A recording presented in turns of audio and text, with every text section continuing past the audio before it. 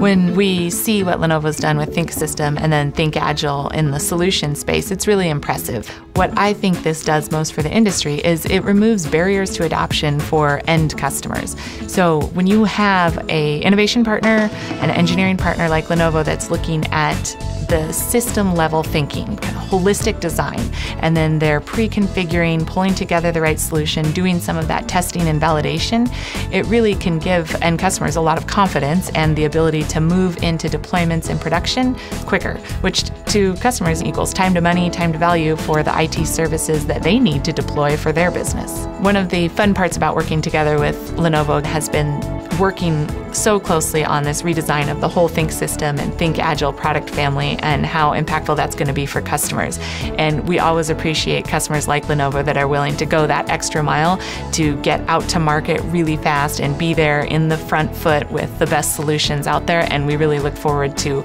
um, helping them and being part of watching them do that again as they launch all these wonderful new products.